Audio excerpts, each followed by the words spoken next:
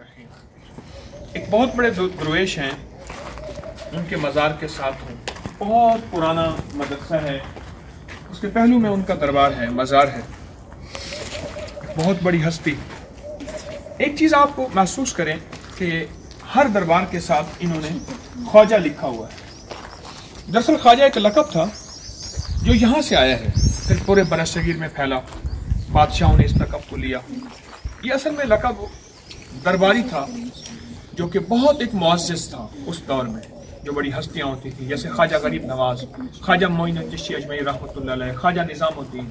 یہ ہستیاں وہ تھیں جنہوں نے ایمان، اخلاق، شریعت، اللہ کا تعلق پھیلایا اور انسانیت کو امن کا سبق دیا۔ آج یہ خاموش ہو رہے ہیں ایک انتظار میں۔ پھر سے تو پھر انشاءاللہ ہدایت کی ہوائیں چلیں گی۔ پھر بھی ایمان کی شمع روشن ہوں گی۔ اللہ پھر بھی وہ زندگی کا نور لائے گا۔ وہ ہدایت کے راستے پھر روشن کرے گا یہ مزارات اصل میں منتظر ہیں۔ اللہ کے عمر کے اور اللہ کے حکم کے۔ اور یہ اللہ والوں کے مزارات مجھے آپ کو ایک پیغام بھی دے رہے ہیں۔ اور وہ پیغام یہ ہے کہ ہمیں اپنا سبق یاد کرنا ہے۔ بھولا ہو۔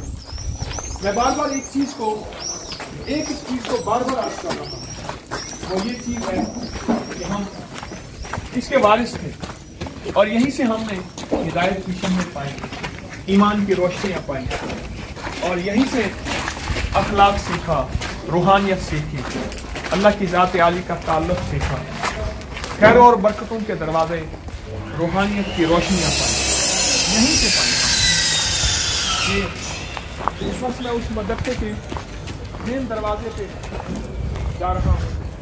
اور یہ اب پھر سے اس کو مرمت کر رہے ہیں۔ یہ اس کا مین دروازہ ہے۔ ویران ہے صدیوں سے سب سے بڑا سامنے اس کا مین قلعہ ہے۔ سامنے اس کا مین دروازہ ہے۔ یہ مدرسے کا مین دروازہ ہے۔ یہ راستہ ہے۔